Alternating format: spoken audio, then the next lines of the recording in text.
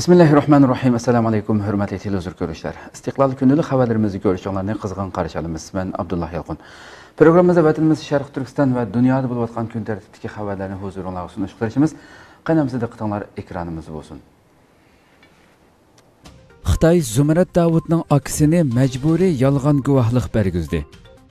Xitoy doirlari xalqaroning va xitoy xalqining ko'zini bo'yash uchun jazo lagerlari haqida guvohlik bergan zumrat davudning aksini majburiy yolg'on guvohlik bergizdi. Xitoyning yer shari vaqti gazeti ko'z tushtori qatorliq cho'ng taratqullari sina mikroblogida abduxilil davud ismli bir kishining guvohlik bergan bir minutlik silliq ko'rinishini tarqatdi.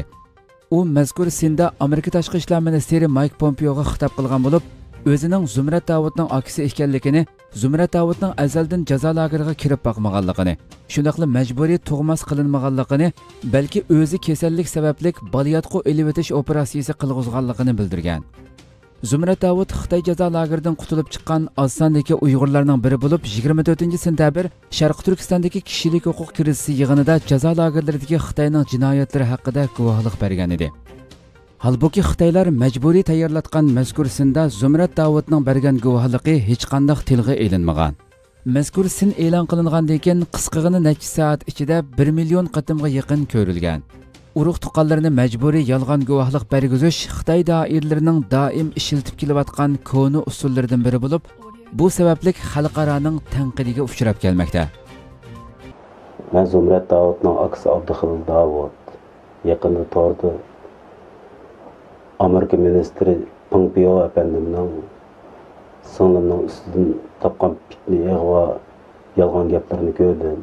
Тәрбиеләшкә апреш, ә, балаларны мәҗбүр бугдыру итеш дигәндәк ялган гәпләрне. Сыңлым әзелдән мәҗбүри үгенешкә мөбамыган, мәҗбүри тәрбиеләшкә бамыган, мәжбүрі операция мы.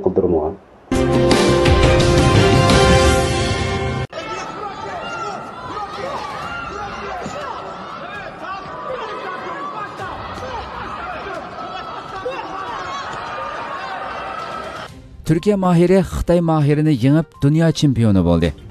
Turkiyadagi har qaysi axborotlarning xabarda bildirilishicha rossiyada o'tkazilgan dunyo ayollar boks musobaqasida turkiyalik mohir busana surmanali 69 kilogrammliklar bo'yicha chempionlikqa erishdi.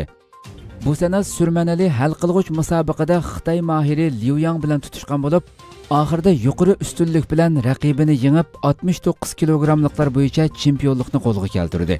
Bulardan sırt 51 kilogrammliklar va 81 kilogrammliklar bo'yicha turkiyalik iki mahir kumush medalga erishgan.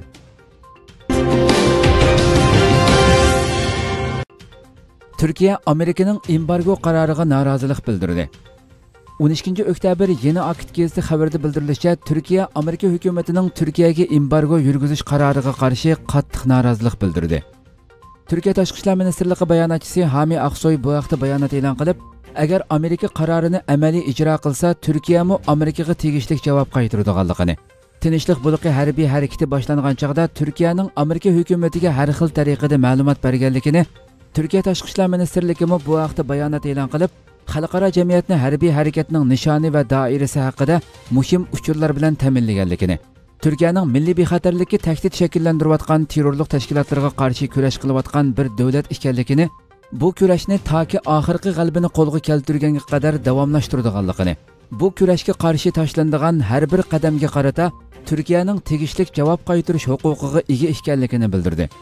Ma'lum bo'lishicha amerika moliya ministri steven Mnuchin amerika prezidenti Trumpning tashqi ishlar ministrligiga turkiyaga embargo yurgizish huquqi berish qarornomasini imzolashni o'ylashgan bo'lsimi biroq embargolarning hozir yurgizilmaydiganligini bildirgan.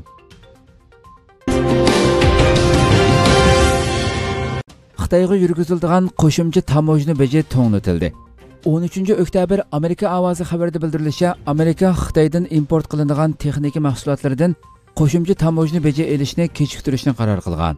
Amerika prezidenti tramp bayonot e'lon qilib ikki davlat hosil qilgan kelishimga asosan yillik 250 milliard dollarlik xitoy mahsulotlaridan elinadigan qo'shimcha tamojni bejini 25 persentdan 30 persentga chiqarish nishon qilingan planni kechiktirishni qaror qilganligini.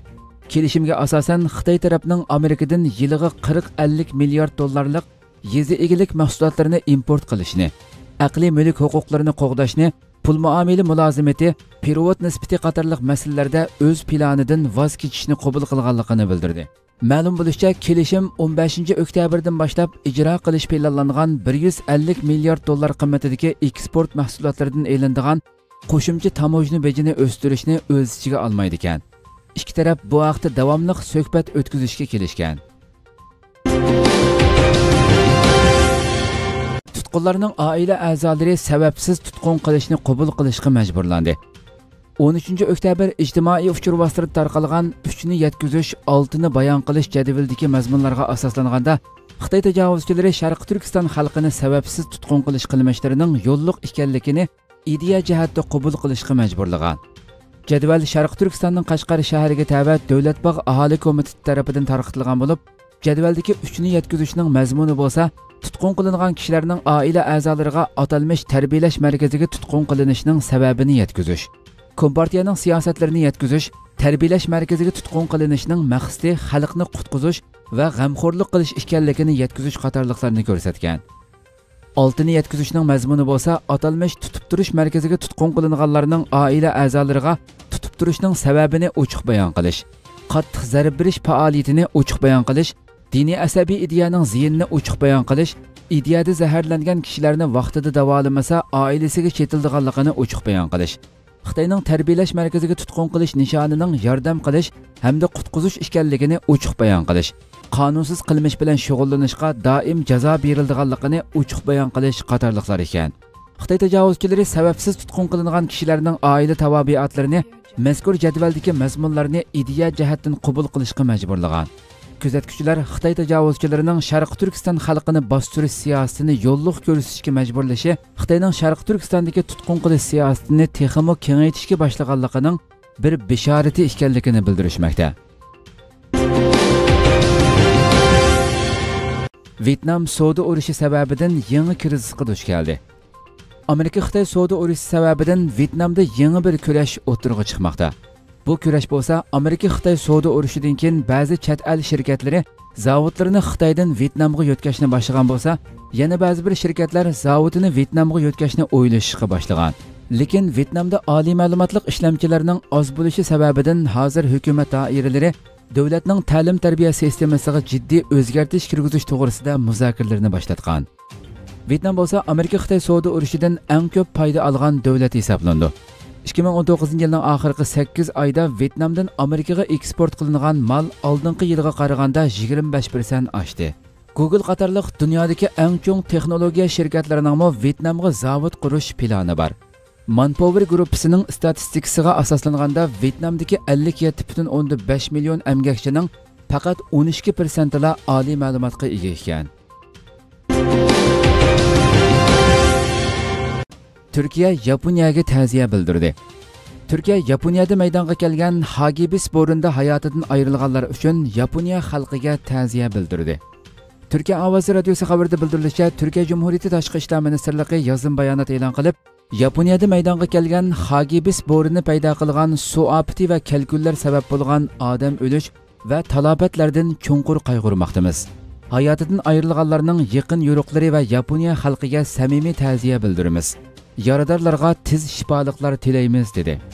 Yaponiyada maydonga kelgan hagibis bo'rinda 40 odamning jendan ayrilganligi 100 atrofida odamning yaralanganligi.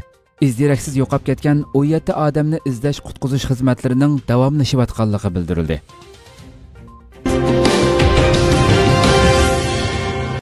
Xitoy nepalga 23 yildan keyin tunji ziyoratni qildi.